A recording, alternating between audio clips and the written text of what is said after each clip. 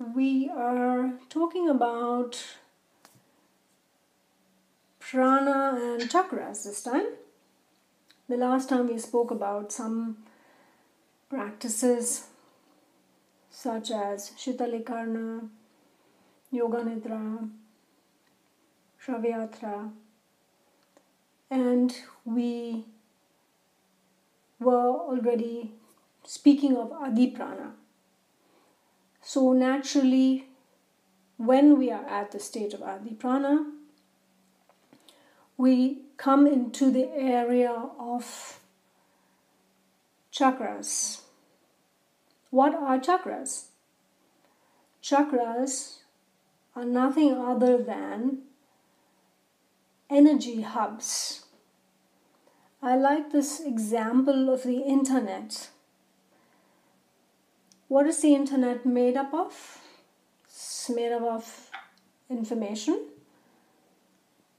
wires, okay, um, fiberglass cable wires, which are various parts of the world, and this information is in form of um, bits, bytes, and it's accessible from anywhere provided you have internet connection, either mobile phone or a laptop. However, there are certain places in the world where these wires and these fiberglass cables seem to collect. They are like hubs and they're cross sections. Um, somebody is online, and I think that must be Soumya, who's probably the only phone Yeah. caller. Yeah. Could you mute Soumya because we can hear you? Okay, I'm muting myself. Yeah. So these hubs are places where there are huge collection or interconnection of these mm, wires or mm, however we should call them cable fiberglass cable. And one such place one of the world's biggest hub internet hub is very close to where we are in Frankfurt. It's one of the world's largest hubs. What happens if the internet in the entire world is functioning but one of these hubs doesn't work? Doesn't mean that the entire internet connection in the entire world collapses. It still functions but naturally it may not function very well. Maybe there are some blockages, there are problems in certain areas. Certain websites may not be available, right? Maybe too slow, whatever. There is a certain there are certain limitations if one of the hub goes down. This hub is where energy is concentrated. If you think of the human body as energy, which is floating through the energy in all the nerves throughout the body, they are like these fiberglass cables. And those places where there's a greater interconnection of these nerves, those centers are known as chakras wheels because they are like wheels of life. Life seems to be very densely focused in these areas, just like the internet hubs. There's a lot of energy flowing around there. Similarly, in the human body, there are seven main hubs. And these hubs, chakras, wheels of life are where the energy, the prana, is especially concentrated. when we want to access energy, just think in terms of physics. If you go into the desert, there's a lot of heat, there's a lot of energy. If you want to cook an omelette, you take a pan, you break an egg, and you put it out in the desert on a, you know, just out there. Do you think that omelette will cook? Anybody wants to make an educated guess? Or does somebody know the answer to that? Uh, hi. Yeah. Hello? Yeah, the problem would be the focus. It's just a lot of heat which is spread in a lot of places. Yes. So this experiment has been done before and the energy is not focused, it's all over the place. And so, as Gautam said, the intensity is required. And that intensity is in these hubs, or to use the internet terminology, but yogic terminology is chakras, these wheels of life. The energy is especially concentrated, or the prana is especially concentrated in these areas. Some of the practices that we have discussed, like 61 points, is kind of mapping these channels in the body.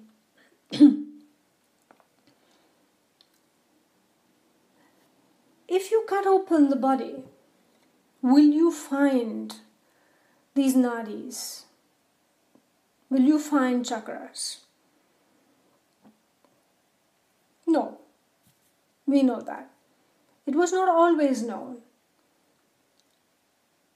Until about 150 years ago or so, cutting the human body, a cadaver, a corpse, was taboo in almost all parts of the world. It was a taboo, considered a taboo by almost all religions of the world. So, also Indian medicine like Ayurveda, etc., or the Arabic forms of medicine. The Arabs were very advanced in medicine, but dissecting a corpse was taboo.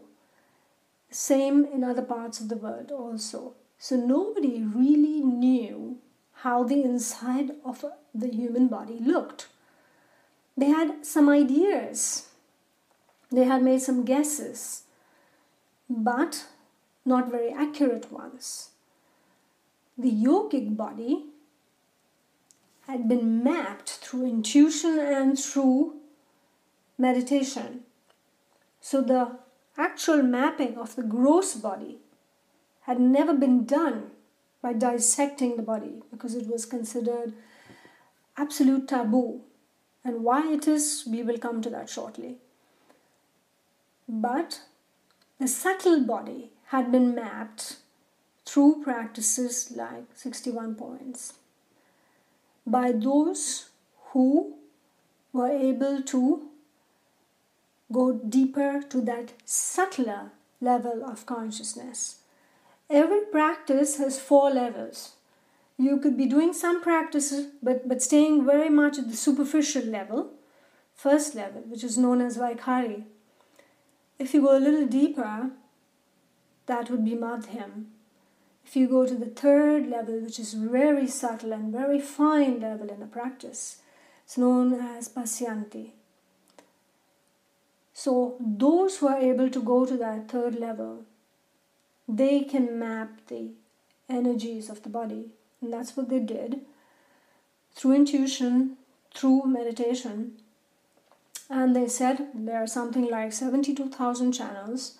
There are different points in the body, which are known as marmas, and that has been studied far more deeply in Ayurveda. Ayurveda and yoga being sister sciences. So, this is where they meet. The study of the mind and the body, it meets here. So when this study was done, they discovered chakras. And so when India was conquered, invaded, and conquered by the British, British doctors who had overcome the Christian taboo of dissecting the body came to India and they were very amused by this study of energy channels because they had cut open the human body and found nothing like this. They didn't find little round chakras with lotus leaves on it or anything similar to that. But they were looking for the wrong things. They were trying to look for that exactly that which which was given in the diagram. The diagram itself is written or is a, uh, a coded way of handing down this knowledge. Today we know that the nervous system is what the yogis were talking about. The spine is what we are talking about in yoga. That the energy of the body is concentrated here in the spine and the brain. Along this spine, there are places where a tremendous amount of nerves intersect and these places are in modern science known as plexus.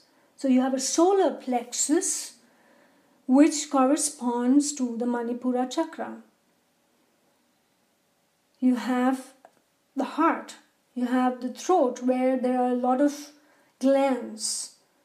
Similarly, at the Agya chakra, there are a lot of glands intersecting. So these are all places where there is a lot of energy concentrated along the spine. The Manipura chakra, the solar plexus, is the largest among all and the one of the most important. Most people focus in meditation, of course, on Agya chakra, the third eye, or the heart center, which is Anahat chakra. But in terms of energy, health, and the body, it is the Manipura chakra, which is the most important. So, this is how the body was mapped. It's actually an energy field and the chakras are part, the nadis and the chakras are part of that map. And if you practice the practices that we talked about the last time, having done them systematically without interruption over a long period of time, with guidance, doing them systematically as we have discussed them, then the chances are that you will be able to map your own body energy.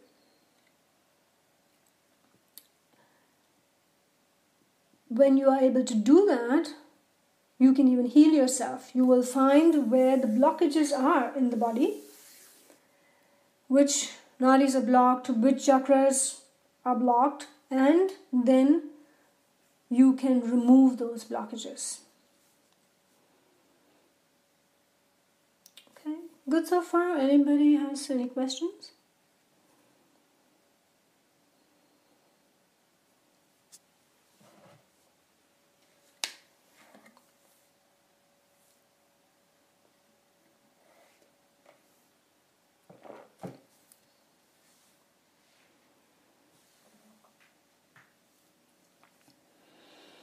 Okay, we just continue.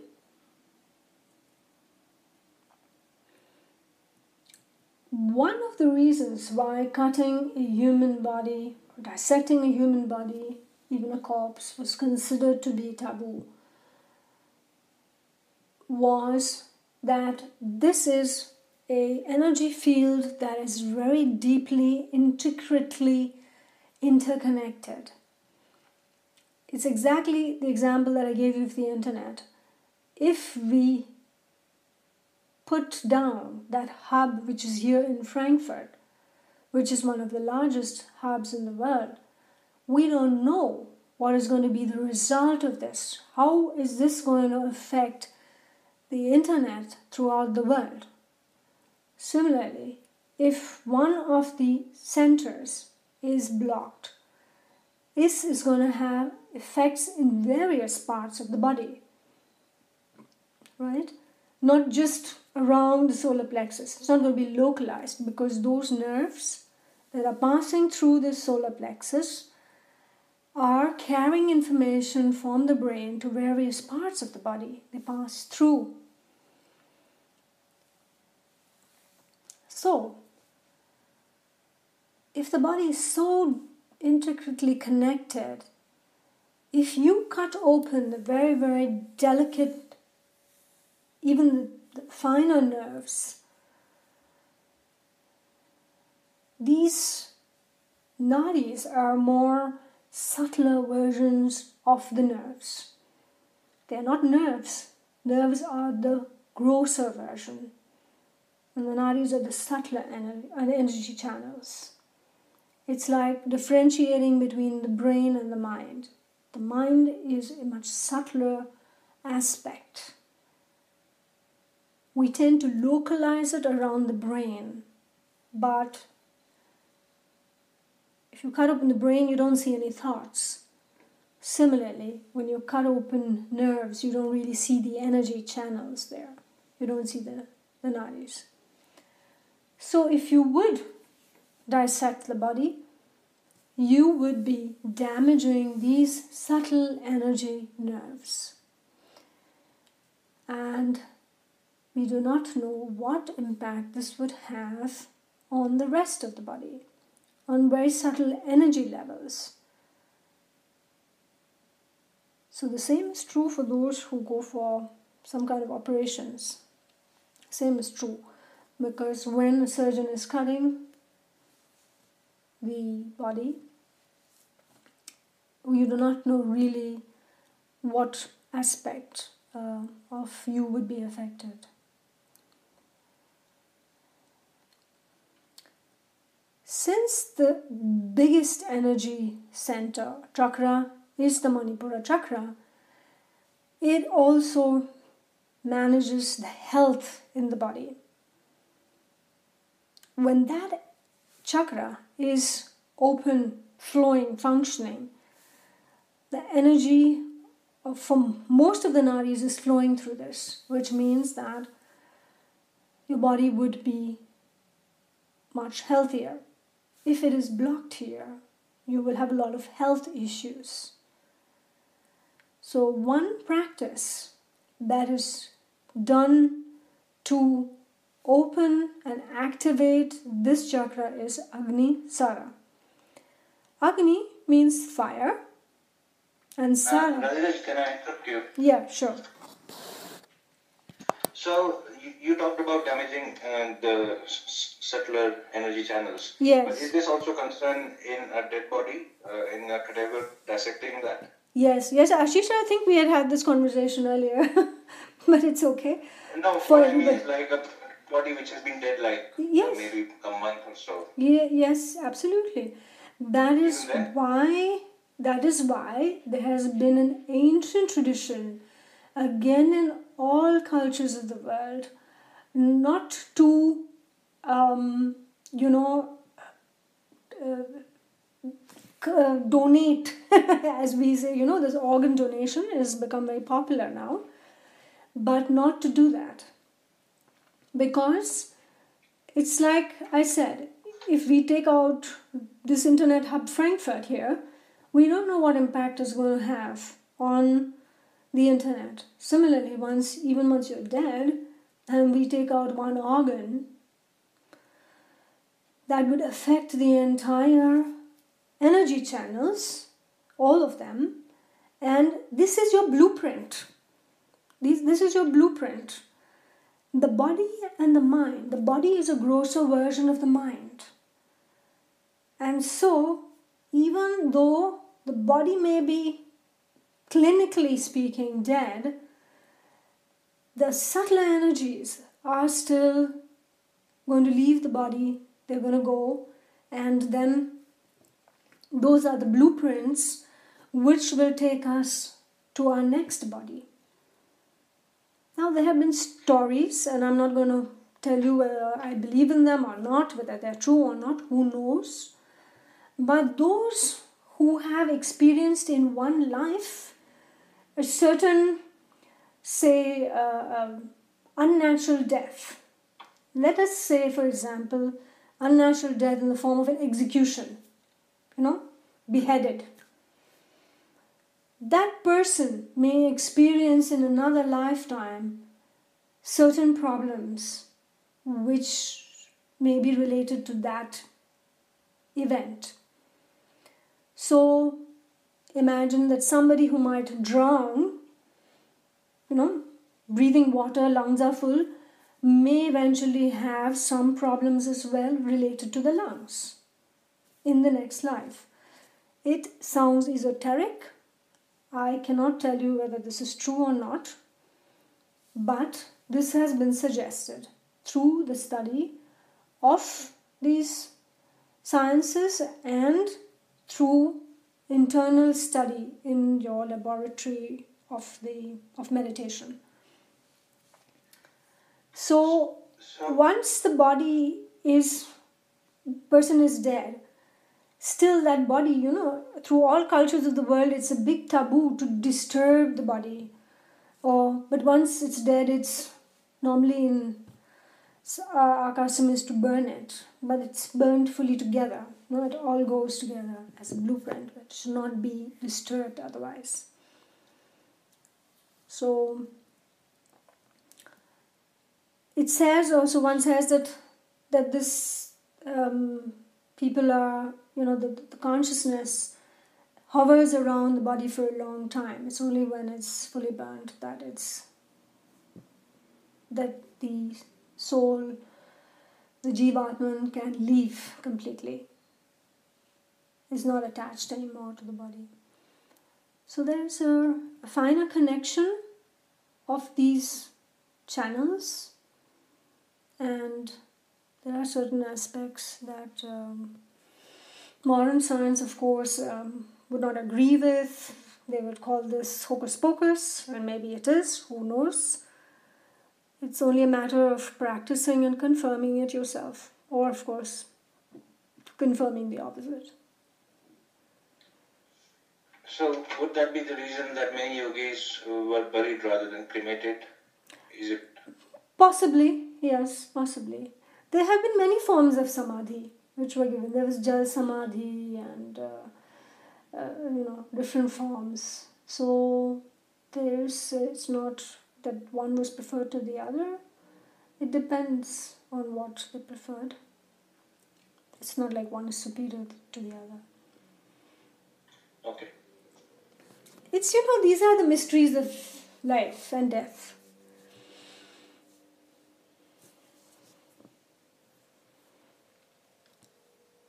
So to activate the Agni within the body, within the Manipura chakra, you practice Agni Sara, and Sara is coming from the word like you have Manasarovar. It is a big lake in the Himalayas.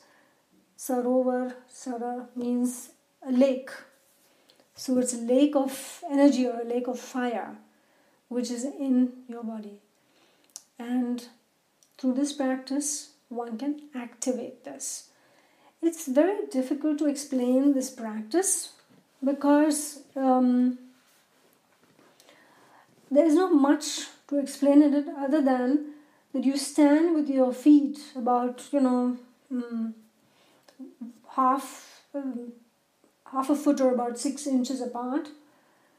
You put your weight, you know, your palms of your hand on your knees or your thighs, and you rest the weight of your bodies, of your body, of your upper trunk on your knees, keeping the back still straight, not bent but straight. Then you exhale and contract the muscles in the lower abdomen, pull them in and up. Then you exhale and allow the body, uh, sorry, then you inhale and allow the muscles to relax. You just release the muscles. So the effort is only in ex- during exhalation, contracting the muscles in the lower abdomen. And that's all to the practice. It's not complicated, difficult practice, but many people make mistakes here.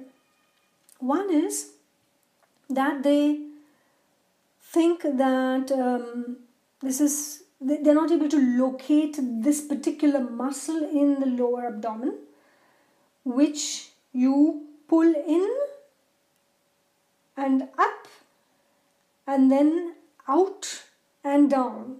So it's like a circular move movement which takes place. So this muscle which is in the lower abdomen activates the entire energies in the chakra there. This is very, very similar to diaphragmatic breathing. In fact, Agnisara is diaphragmatic breathing, only it is now very, very intense, and here you are actively exhaling. Excuse me. You are actively exhaling. You're exhaling and pulling in the muscles or contracting the muscles. So you actively exhale and passively inhale. Normally, the body, your natural breathing is always active inhalation and passive exhalation. So, in a sense, that is reversed. That's what happens normally. So, that is reversed. Otherwise, it is nothing other than diaphragmatic breathing. Only the posture is different and it helps you to localize the energy in the Manipura chakra. Agnisara is a very, very powerful exercise. So, if you have never done it before, you should not do more than 10 a day. And then perhaps every week add 10, 10 more rounds. And then maybe over a period of time, you can go up to 100 if you are able to do this. This practice is the most famous tantric practice. Does anybody know the story of the great Maharashtrian saint Sant Jnaneshwar? Does anybody know who Sant Jnaneshwar was from the, what was it, 17th, 18th century? Yes, Gautam? Do you know that story where Sant Jnaneshwar as a child was famous for um, something very unique because you know he and his siblings were outcast. They were brahmins. Their father was a brahmin and he was outcast. He was thrown out of the brahmin community and so they had no communication with anybody in the village. They didn't even get food. So the situation for the family was very difficult. So sometimes they didn't even have enough, you know, coal or wood to be able to cook the the, the, the rotis, the chapatis. So he was famous, he was known for the fact that you could take a, the chapati, the bread, and put it on his back, and it would cook on his back. Most people think this is only a legend and laugh it off. They say, oh, that's a cute story. So, do you know that story, Gautam?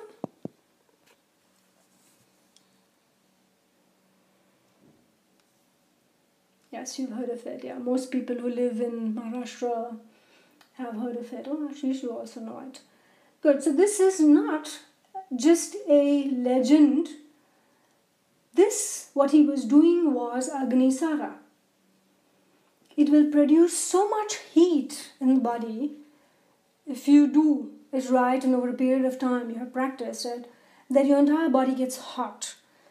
Monks in the Himalayas in some Himalayan monasteries earlier, they were tested. And the test was in the winter to wear a wet shirt and then to do this practice and through the practice generate so much heat that the wet shirt dried in winter in the Himalayas. So this generates that kind of heat in the body. And by doing so, it gives you a lot of energy, strength, um, health, removes a lot of blockages, and it is not to be confused with Udian Bandha. So it is how it is different from diaphragmatic breathing, I've already explained to you. Diaphragmatic breathing is very natural. You are not really trying to do anything. You're merely observing, and at the most, you're trying to elongate your breath. In diaphragmatic, natural diaphragmatic breathing, your inhalation is uh, normal, you make some effort, but exhalation is always passive in Agnisara,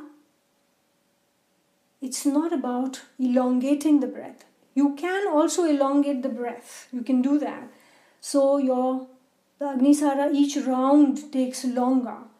But the emphasis is on exhaling and contracting the muscle. That's the difference between Agnisara and diaphragmatic breathing. What's the difference between Agnisara and Udian Bandha? Udian Bandha is one of the three or four important bandhas. And basically, Udian Bandha is when you contract your abdominal muscles but you are breathing in and out normally. And why you do that, we will come to in bandhas why do we have bandhas at all? What is the purpose of bandhas? There are basically three main bandhas. Mula bandha, that is the root lock, where you contract the muscles, the anus muscles. The Udian bandha is known as also the abdominal lift because you contract the abdominal muscles, you suck them in. Those who are very slim, you know, you may have seen some yogis very slim doing the Udian Bandha, it seems almost that they have no abdomen. It seems to completely disappear. They suck the abdomen in completely. They have no fat whatsoever on the abdomen, so it looks like their ribs are sticking out. And, the, and then we have Jalandhara, uh, Jalandhara Bandha, which is the neck lock, where the chin is uh, placed at the throat. So you bend your head down and you lock your chin into the, the cavity of the throat. Why does one do these bandhas at all? What has the bandhas what have the bandhas got to do with chakras or with prana? So for that I have a little picture.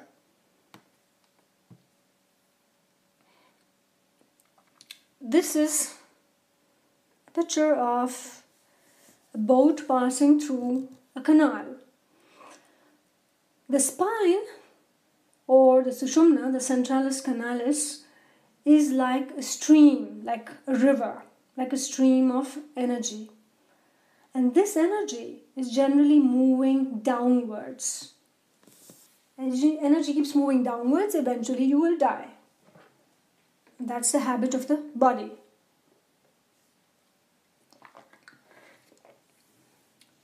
what do we want to do? As we start doing pranayama practices, we begin to understand what Adi Prana means and have mapped out, starting to map out the energies of the body, then we want to reverse this energy. We want to flow upwards to the source. And so, imagine you're on a river in a boat, and the boat wants to go upstream. Okay, it's an altitude you don't see the altitude here so well, but it's an altitude. There's a altitude difference, so it's going up a mountain or up a hill, and you know that's not generally possible for a boat to go uphill, right? So how would it go uphill? It enters a lock here. That's the lock, canal lock. Water is pumped into this lock the boat's height increases. This lock is opened here, boat passes out, and now it's at a higher level. So here the water is so low, and here now the boat has gone up. So this is how a boat goes upwards, up a river, which is you know, flowing down a mountain. You know, so it's basically going up the mountain.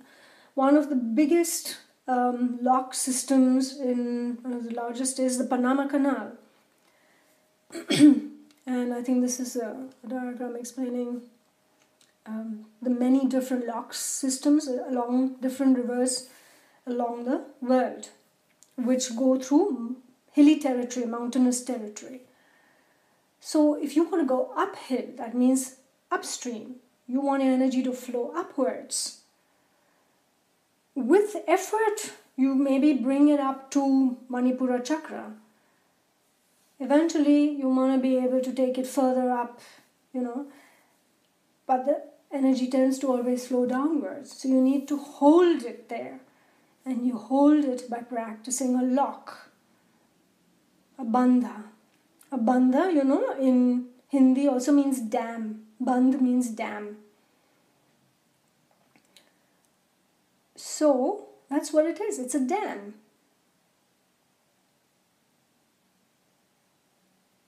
Only thing is that you don't practice the bandhas by looking in a book because you won't know when to practice it. If your energy is just flowing, uh, you know, it's just flowing downwards, it, it doesn't matter, right? If, but if it is only starting to flow upwards, only then you uh, want to keep it locked up there, you know, to take it up. But if it is just flowing down, there is no point in doing bandhas. Imagine there would be no difference in altitude and, and the, the river is just flat, just horizontal. And you still keep doing making locks everywhere. What do you achieve out of that? Okay, there's no mountain, there's a river, it's going through the plains, but we put locks along the river. What are you going to achieve out of that?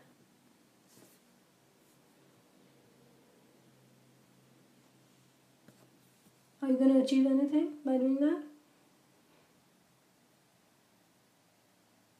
You're just going to waste your time because you don't need any locks. A boat is flowing along a river, along the plains, you don't need any locks. You need the locks only when the river is in a mountainous area and the boat has to go up, basically up a mountain. And so, if you are doing a practice where you're trying to raise the energy and the energy is starting to move upwards, only when it is starting to move upwards that you need to practice bandhas. If you are not moving, the energy is not moving upwards, you don't need to practice bandhas. When the energy starts moving upwards, the bandhas happen spontaneously and naturally. And the right bandha happens at the right time. So if the energy is located around the Manipura chakra, you will suddenly find yourself in the Udyan Bandha. If the energy is further up, you will suddenly find yourself practicing Jalandhara Bandha. So the bandhas would then come spontaneously.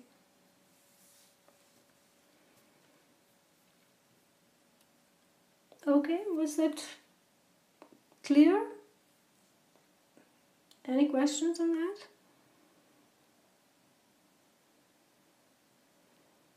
So we don't actually practice them, uh, you know, forcefully or as a part of the regular practice. No, no. As I explained, it's a waste of time. It's like a, a river in the plains, and you create an elaborate lock system, and the boat has to keep going through some locks. It makes no sense, right? It's completely useless. It's a waste of time. So similarly, practicing all these bandhas, it at the best, it's a waste of time. You know, I don't think there would be any negative uh, effect of that apart from giving a pain in the neck.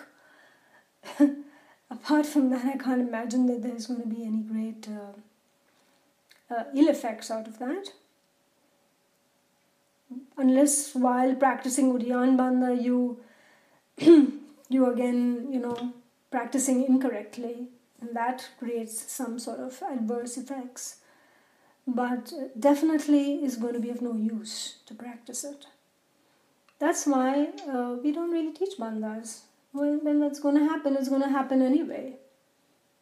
And this is also one of the reasons why the bandhas are so mysterious. Most people don't understand this process of the energy flow. You will not find this explained anywhere.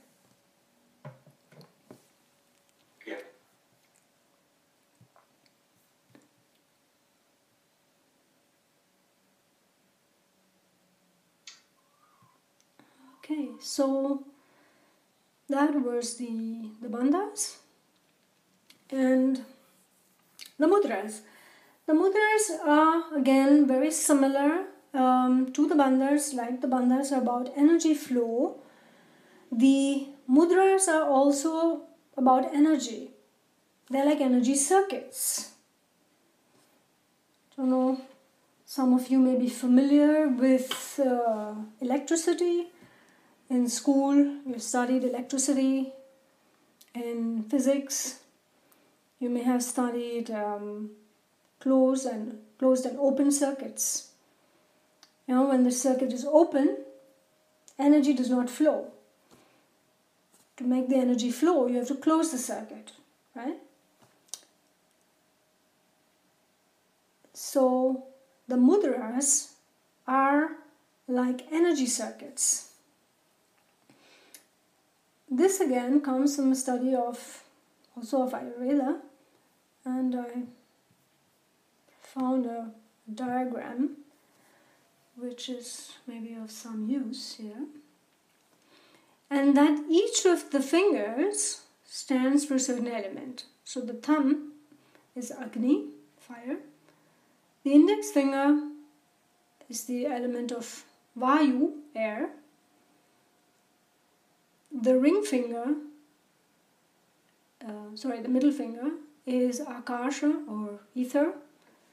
The ring finger is Prithvi or earth, and the little finger is Jala or Vasa, water. Sorry. So these are the five elements that are connected to the fingers. One famous mudra that we use very often is when we put our hands together as a namaste. It's also known as Anjali Mudra, where all the fingers are touching each other.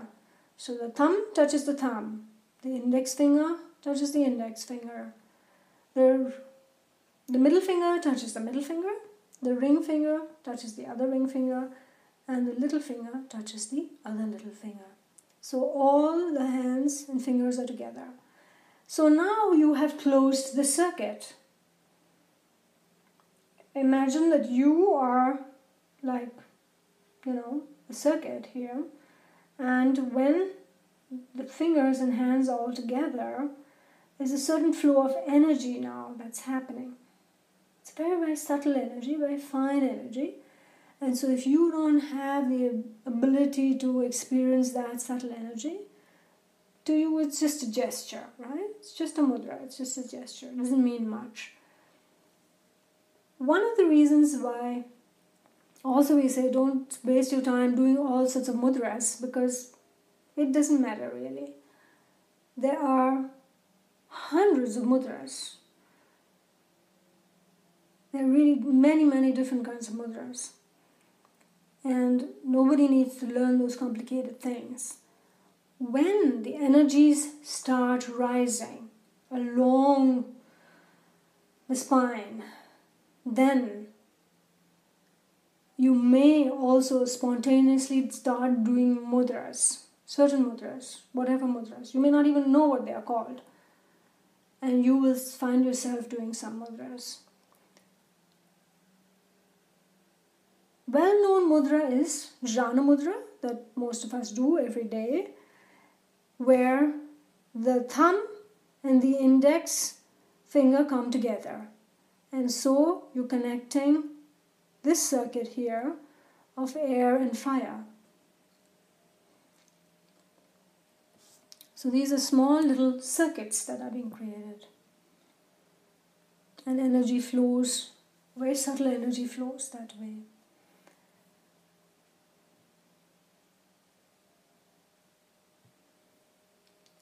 The other well-known mudra is Vishnu mudra, which we do. Uh, we have done that before. We have gone through it when we practice Nadi Shodhanam, also known as Anulom Vilom, and um, that is a mudra that we we do use, but not recommended to use uh, over a period of time. Or Dhyana mudra. Dhyana mudra is when you Put your palm facing upwards in your lap during meditation and put the other palm over it, also facing upwards. It's also a position for sitting in meditation, just like you can sit in using Jnana Mudra, you can also sit in Dhyana Mudra. So that's what the mudras are about. Any questions regarding mudras?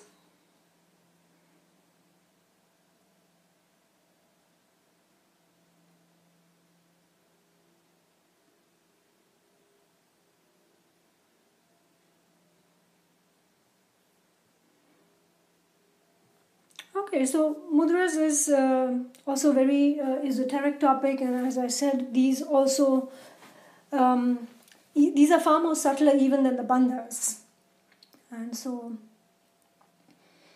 it's not something we need to go into very deep. So, having gone through this, you know, um, the energy flow, the pranic flow throughout the body, mapping the body we should understand the difference between breath, prana, kundalini, and shakti. Breath very often is also known as just people say, oh, that's prana. Everything is prana, but there's a specific term that we use for breath, and that is known as vayu. Actually, inhalation and exhalation is vayu. Prana is life itself, energy itself it's much deeper. So, in the breathless state, a yogi who is in samadhi, he does not breathe, but he is not dead. He's still got life in him. So, therefore, that's the deeper level of prana. Kundalini is when that prana or energy is concentrated very focused and concentrated. Let me see if I can just find that diagram again. Hmm. Okay, I can't find it, but everybody knows the diagram. I'm referring to the diagram of the the body, the inhalation, exhalation, the conscious mind, the unconscious mind, Adi Prana, and the center of consciousness. So the breath is the most external. Kundalini is just another word for Adiprana. It's the more focused energy. It's not spread out, dissipated, but it's very, very focused. And Shakti is universal consciousness. Everything is finally prana, everything is finally Shakti.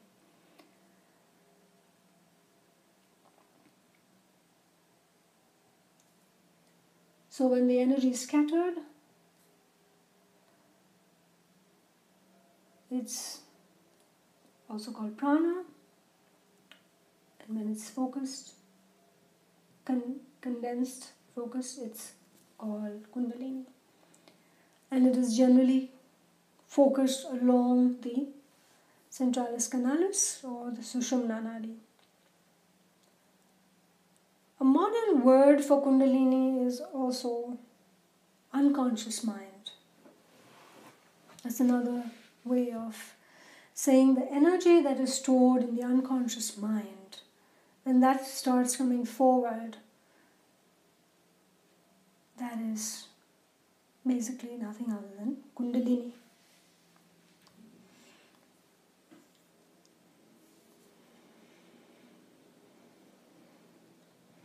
Any questions about that? About these four different aspects? Distinction between breath, prana, kundalini, and shakti? I have something not directly related, but something that was in my mind. Mm-hmm. And it, it, it is related to the five koshas. Yes. And in the koshas, the pranamaya kosh comes before the layer of the mind, manomaya kosh. Yeah. Is that correct? Yes, yes. But in the diagram, it, the prana's place is after mind is passed. Yeah, yeah. Because um, there are two levels of that. Yeah, okay, I got it now. Just give me a minute, I'll just put that up. Mhm. Yeah, okay. So you have the Annamaya Kosha, which is the most gross form of energy. Yeah. Then the Pranamaya Kosha, which is the second form of energy. And that is the pranic energy or the vehicles or the nadis. But subtler than the nadis are, is the mind. Yes, it's also more diffuse, but it's located more around the brain. So it is more focused, it's more dense. Okay. Beyond that is intuition or what is called Vijnanamaya kosha, which is none other than buddhi. So that's even more dense, more focused form of energy. Now you come to Anandamaya kosha. I have called it deep sleep here. The only difference is that if you and I are talking about it, you know, if there's somebody who is, the difference would be is a person who is going to sleep at night goes to deep sleep is in a state of tamas. But if you have someone who goes into yoga nidra consciously experience it he experiences a sattva and that itself is also pure energy it's pure sattva it's energy and then comes pure consciousness which is nature is life pure energy or pure life so your question was that how is this prana coming here? It should be deeper, right? But this Ah, yes. se- second one is referring merely to the map, you know, the the the nadis. But the mind is subtler than that, and intuition is subtler than that, and pure sattva is still subtler. Okay. So the level of Adi Prana would be actually number five there. Yes, or it's it's right here. It's probably between. It comes out of here into this, Okay. and then it continues. This arrow, for example, you can say then becomes the spine, the sushumna. hmm Okay. So, and this would then bring us actually very appropriately to Laya. The universe itself is an expansion. So imagine that there's just a dot. Comes the ring, the second ring, the third ring, the fourth ring, the fifth ring. Like ripples, you know, in the water, if you throw a stone in a pond, the ripples keep expanding. And that expansion is the universe. That's how you expand. You manifest outwards. From pure consciousness, you come outwards until you get a body. And then you contract again and go back here to this point. Eventually. And that is the cosmic breath, Laya Yoga. Laya.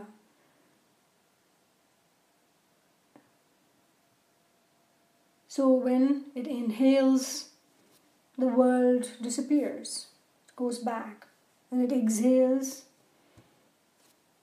you are born, the world is, is created. Then there is pralay, all these things, macrocosm, micro, macrocosm, microcosm. So it goes into that direction. I don't think we need to cover that here unless people are interested. But this is the cosmic breath. This is known as Laya. And for those of you who aspire to attain pure consciousness, the journey is going inwards. Mastery comes when you can do both. You can go inwards and then outwards. And you remember that you're here out in the external world, and yet you remember your core is pure consciousness.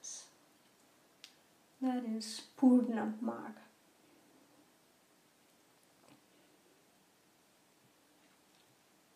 So, any questions so far, or any comments, anything to share? It doesn't have to be only about this session, it could be anything general about pranayam.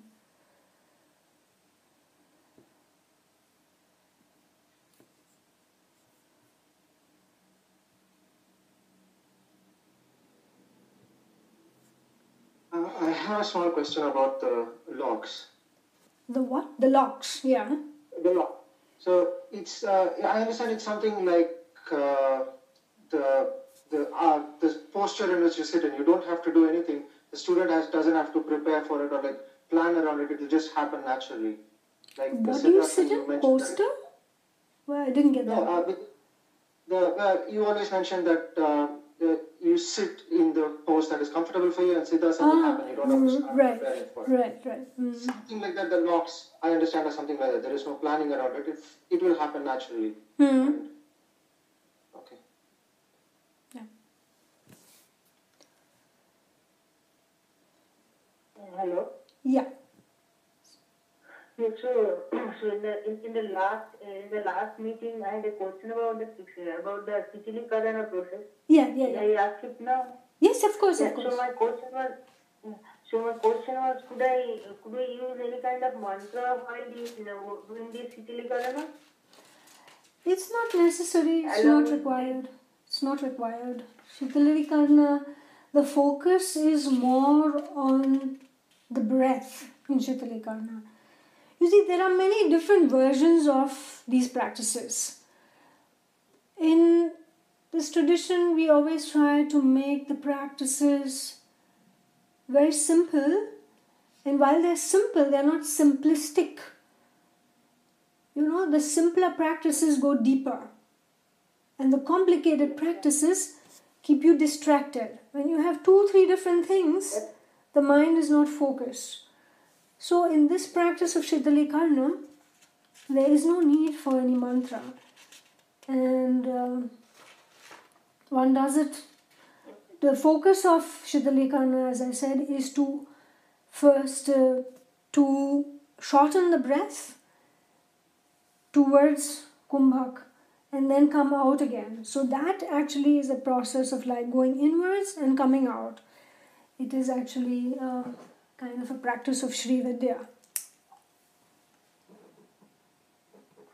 Okay, and another thing is that I found out that if I can, if I try to visualize breath in the opposite way, that is during Shitalikarna, the uh, source of the, that is you are inhaling or from some, some place of the body and then coming to the crown of the head. Yeah. Suppose you are uh, inhaling or exhaling from the toes and then coming to the crown of the head. Yeah. So I saw that if I do it in the opposite direction, that is uh, start either inhale or exhale from the crown of the head and then go to another part of the body, uh, that becomes easier for me to uh, do.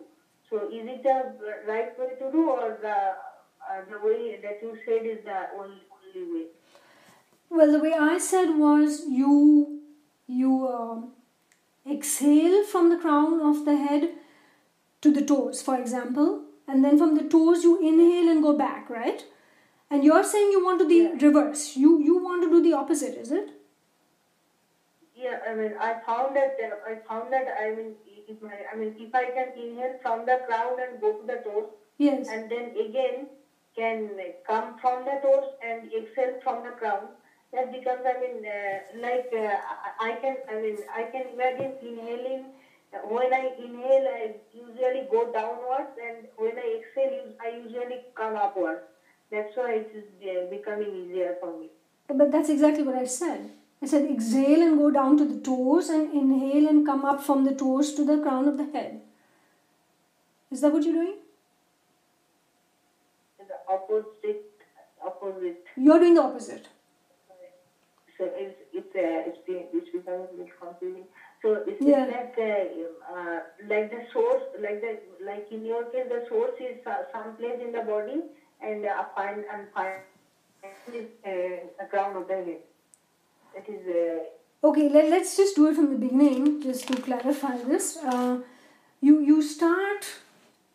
The first very step would be just plain diaphragmatic breathing, and then you start by breathing from the crown of the head to the toes, breathing out, exhaling, and then you inhale from the toes to the crown of the head. Is that what you're doing, or you're doing the opposite? yeah the opposite. You're doing the opposite. Okay, now let me ask you a question. Um, if if your normal energy, I just explained this when we were talking about the bandhas, that normally the energy, like it, like the river flows down the mountain hmm, from from the summit. From if there's imagine a river, the source is up right at the top of the mountain, and then it becomes bigger and bigger and bigger. Right? It's it's coming down the mountain, right? So now the boat wants to go up, right? You want to go to the source, right? In spirituality, we always say you want to go to the source. The source is on top of the mountain.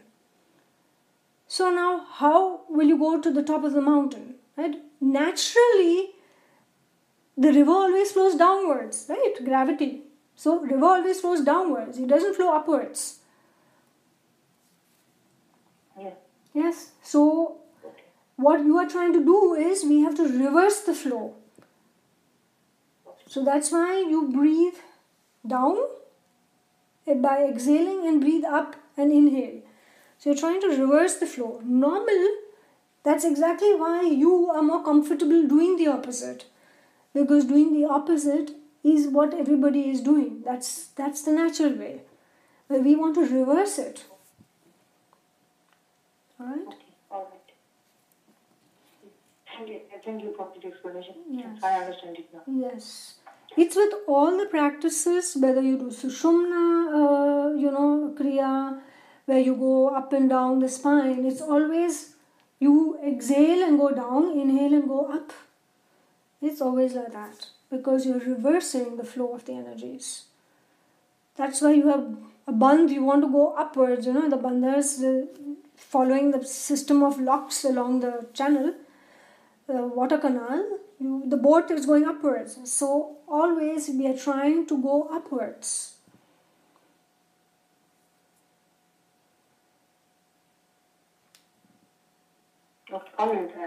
Okay.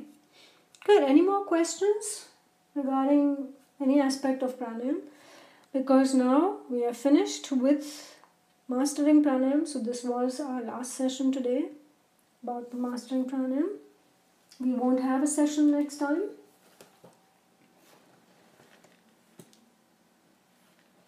So if there are any questions, now is the time to ask them.